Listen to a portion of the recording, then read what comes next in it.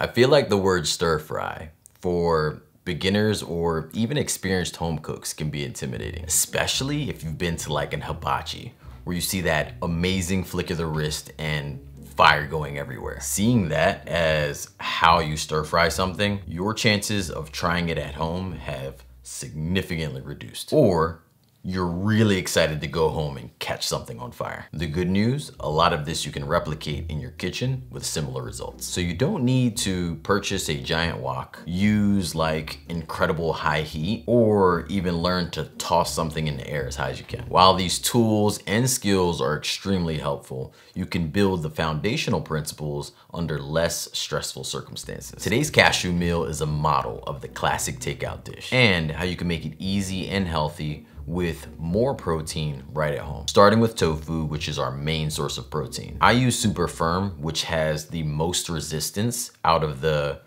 tofu firmness family. In this recipe, we play with tofu quite a few times. Therefore, if your tofu is too soft, maybe like medium firm tofu, you may wanna be very careful as you risk crumbling it. If you didn't wanna use tofu, you have two main options. One is to swap the tofu with something else, like store-bought plant chicken or seitan, or tofu made with something else like pepitas. Option two would be to leave it out. While this would lower the protein value of the dish, it is still packed with a bunch of nutrition that's gonna help you feel satiated. The cornstarch we use to give the tofu that crisp could be swapped with most flours. All-purpose, rice flour, potato starch, just to name a few. Within the recipe, we're gonna shallow fry, which is part of the method used in stir frying, where you use the small amount of oil while you stir the ingredients. So using a large skillet, preferably with high walls, is great at aiding the containment of everything you're gonna be putting in. If I had to eat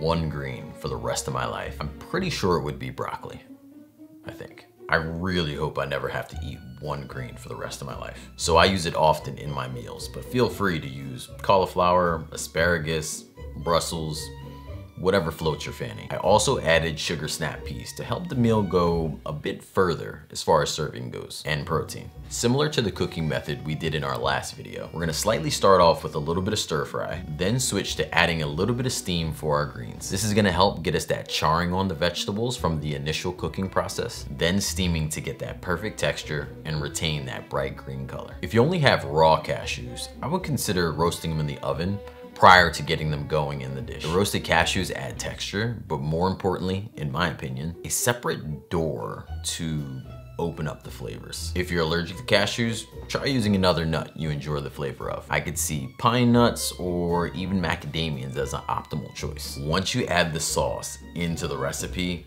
you may not have enough food to share as the entire household is going to flock to the kitchen. If you're soy free, outside of making adjustments for the tofu, you could also use coconut aminos to swap out the soy sauce. But the hoisin sauce also contains soy. Therefore, I would recommend replacing that with a teaspoon of tomato paste in combination with an additional tablespoon of coconut aminos for this recipe. The rice vinegar isn't so distinct that you couldn't swap it for like apple cider vinegar. And I personally love the taste of maple syrup, but agave could also work in a pinch. This full recipe is linked in the description or you could head over to my website, makeitdairyfree.com. Thank you so much for tuning in. Until next time, believe in good. Peace.